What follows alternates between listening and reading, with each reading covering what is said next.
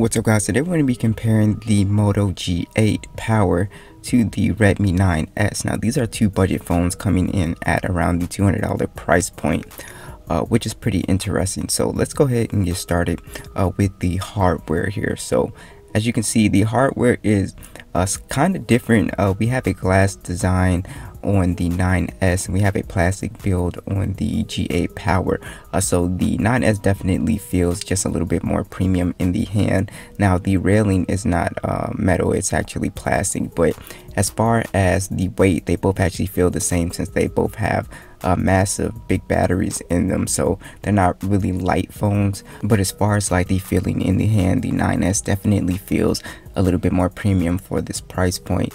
And uh, design wise I really like the uh, G8 Powers design a little bit more.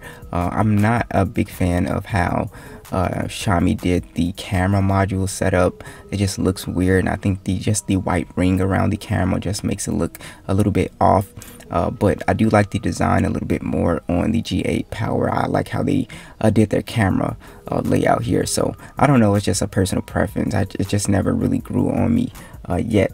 Uh, but as you can see uh, pretty much the same button layout. You have USB type C on both headphone jack on both. Uh, you actually have stereo speakers on the G8 power which are definitely louder than the 9s you only have one speaker on there.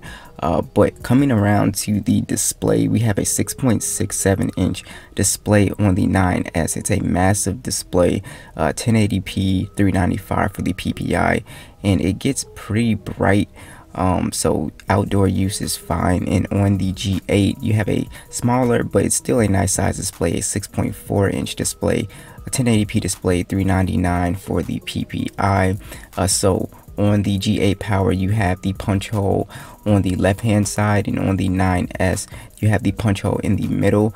Now I kind of prefer the punch hole in the middle like on the A51 I think that's my favorite spot but uh, they both pretty much seem to be the same size so it's not a huge difference. Now uh, it really comes down to personal preference because when you're gaming you might want the punch hole at the bottom or you know you just don't care. You want it at the middle for when you're watching videos. So uh, just really is a uh, personal preference but they both have really nice IPS displays very bright very colorful. So uh, pretty much the same as uh, when it comes to display. It's just the 9s is just uh, much bigger. So if you want a bigger phone or just a bigger display uh, then the 9s is definitely going to be the phone for you. Now here's a big difference. So both these phones are running Android 10 now the 9s has Xiaomi's uh, MIUI 11 on it and the G8 has pretty much stock Android with the Moto actions and all that stuff but it's not like uh, it's just an application. They really just left Android pretty much bare. Uh, so on the Xiaomi on the 9s uh, you have a lot of features like second space and you have a lot of features that they throw in there uh, to be able to take advantage of your phone. Uh, but some people might not like that. Some people might just prefer the cleaner uh, setup of Android 10 the stock version and I completely understand that if you don't want all the extra features. But if you're somebody that needs those extra features uh, that MIUI 11 offers if you don't know I have a video going over that uh, software. Uh, please do check that out. But yeah so you know I like stock Android. They both have the Google uh, now page which I absolutely love. So it just really comes down again to personal preference on which one you like. All right so you have the Snapdragon 665 on the Moto G8 power with the Adreno 610 GPU on the 9S you have the Snapdragon 720G and the Adreno 618 so basically uh, if you're trying to game uh, on one of these devices. The 9s is going to be the better phone here because you can install Fortnite and but you can't play on high. You can only play on medium settings.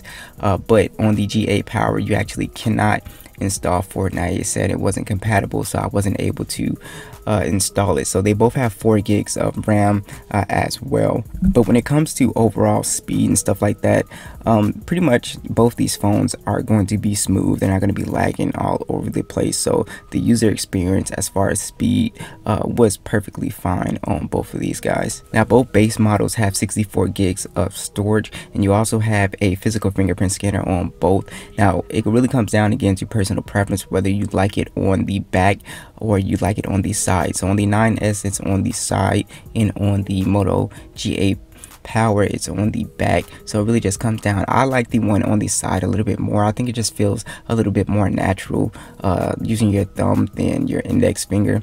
Uh, but you know, again, it really comes down to what you're more comfortable with. I know a lot of people are just more comfortable and accustomed to having it on the back. Uh, so again, it comes down to personal preference, but they're both extremely fast. Now, as far as the cameras, you have a quad camera setup on the 9S. It's a 48 megapixel wide 8 megapixel ultra wide, 5 megapixel macro for close up shots, and you have that 2 megapixel depth sensor. You get 4K 30 FPS. The front facing camera is a 16 megapixel that shoots in 1080p. Now on the G8, uh, you also have a quad camera setup, a 16 megapixel wide, 8, 8 megapixel telephoto, 8 megapixel ultra wide, and a 2 megapixel macro, 4K 30 FPS. 16 uh, megapixels for the front facing camera.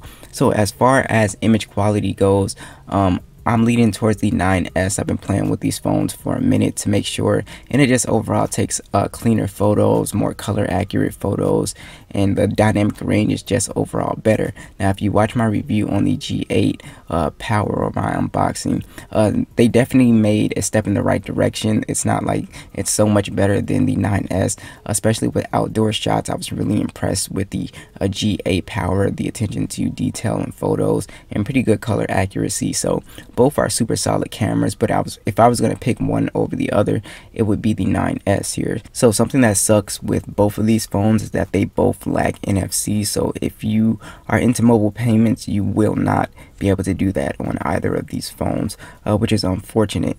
Uh, so you do have a 5000 milliamp battery on the G8 Power, and you have a 5000 uh, 5000 milliamp battery or 5020 milliamp battery on the 9S. Um, and um, you're getting around the same battery life from what I can see. So you're looking at around Motorola has it rated at three days of battery life, and I believe the 9S has it rated at the same. Uh, so if you're somebody that's a light user, you're gonna love both of these phones because it's really hard to kill these phones in a day and it's really hard to kill these phones in two days if you're a light user. So if you're not really gaming and stuff like that you're not really um, you're just like on youtube just doing little stuff um, both of these phones are going to be excellent. So you can't really go wrong with either of them. You can you're really looking at around 10 to 12 hours of screen on time uh, with these phones. So i really love that. So you can't go wrong with battery life. Super solid on both. So there you have it guys. What do you guys think? Which one would you guys go with and i'll catch you guys in the next one